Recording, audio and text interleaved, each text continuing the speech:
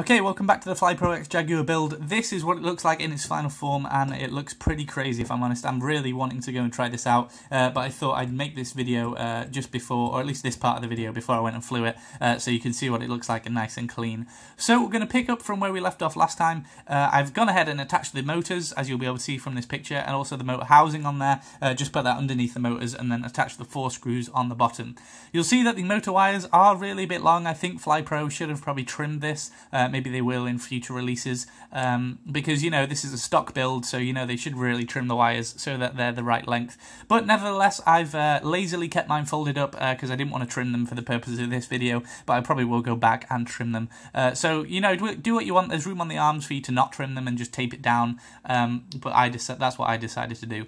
Uh, so you want to go ahead and tin your pads. As you'll see I've been able to do on here. So tin each motor pad and then you'll see when you're putting the motors up that they are all uh, identical. It doesn't matter which one is counterclockwise or clockwise, uh, but you want to swap two of the wires over when you're soldering up on these two motors. So solder the other two up normally, you know, one wire to each channel in the, in the row of uh, three. But when you're doing these two motors, you want to swap over um, one of the two wires and then keep the third one uh, where it should be on the end um, and that is basically going to change the direction uh, of the uh, motors when they spin um, so that your drone will be able to lift off. Okay, so now we have our motors on, they're all soldered up onto the uh, PDB. Uh, now we're going to build the head and put the camera and the video transmitter on. So we're going to get the mount for the uh, camera and basically you can choose any of these uh, little slots that you can attach it to and then you want to be using this bag of uh, screws and bolts to attach it on there. Whoops. Uh, to attach it on there. Next up we want to add this little pigtail antenna. This is going to poke out through the top uh, just like that and then we're going to attach our mushroom antenna or whatever we want to use onto the top of here like that. So there we go, that's that bit done. We can now add the camera. So you're going to um, want to go ahead and attach this black, yellow and red wire. That's going to go into the top left port on here. We're not going to use this port um, for the time being and then go ahead and pop that camera into the holder like that. So that's clicked in and it's free to move. We can now go ahead and um, put some screws in here and fix the angle of it going to want to use this, uh, the rest of this bag, there's two more, well four more screws in here, uh, you want to use two more of them uh, to attach the camera angle. So there we go, the camera angle is now fixed. No need to over tighten those because you'll probably want to change the camera angle at some point. And that is the camera plate done. Okay, so now we've got our main body and we've got the head uh, with the camera on it and the wires for the camera, the LED and the video transmitter. Um, so we're going to go ahead and wire these up and put this head on. Uh, basically this is the back of the drone so you want the camera and uh, the head of it facing forward. Um, so if we take a little look at the top of the drone you'll see we've got this um, tiny little circle piece here and this is actually where the video transmission antenna is going to go. You'll see it's a circle there as well. Uh, that is going to go on there. The red, white, sorry, red, yellow and black one from the camera uh, is going to go on this port here. And then the one from the LEDs is going to go down into the back there. So let's go ahead and wire it up and put the top on.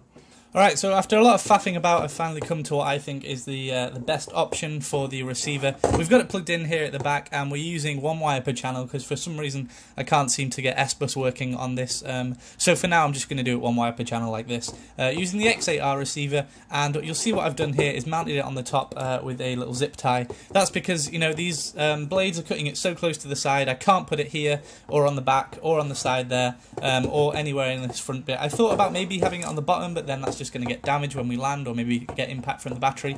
Uh, so this bit here seemed like a good idea. You'll notice that we've got, uh, if I bring it closer to the camera, uh, you can see these two little bolts here on either side. This is basically stopping it hitting um, the transmitter um, for the video. Uh, so if this gets bashed back into here, then it's not going to hit the transmitter. It's just going to hit in those bolts. So uh, we're not going to damage uh, any of the connections here. Although, obviously, we might damage uh, the X8R itself because, you know, this could land easily like that. Um, I'm not sure how easily that's going to be damaged, but, you know, there's no real other option for putting this on uh, and mounting it like that at the moment.